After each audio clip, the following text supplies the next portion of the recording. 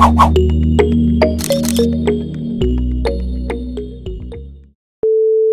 السلام عليكم. رحب عبد العزيز بن جامع الرئيس والمدير العام لمؤسسة الجرارات الفلاحية بقسنطينة بقرار السلطات العليا في البلاد بإيقاف استيراد الجرارات الأجنبية واعتبرها خطوة مهمة على طريق حماية المنتوج الصناعي المحلي. وقال بن جامع ضمن برنامج ضيف الصباح لقناة الأولى هذا الأربعاء 2 جوان 2021 إن المركب قرر العودة للإنتاج بداية من شهر جوان الجاري بصفة تدريجية وب بطاقة إنتاج تقدر ب 500 جرار سنويا ودافع بن جامع عن مركب الجرارات بقسنطينة واعتبره من المكاسب التي تحققت في مجال الصناعي في السبعينات القرن الماضي بحيث ساهم في تغطية حاجيات الفلاحة الوطنية من الجرارات بنسبة 95% واستبشر بن جامع بقدرة المركب على تجاوز الأزمة المالية الخانقة الراهنة مع استئناف الإنتاج خصوصا أن العمال البالغ عددهم 1000 1200 عازمون على رفع التحدي رغم أن معظمهم لا يتقاضون أجورهم كاملة وإنما فقط يحصلون على مجرد تسبيقات. واللي يبغي يتأكد من الخبر ستجدون المصدر في صندوق الوصف. دمتم في رعاية الله وحفظه.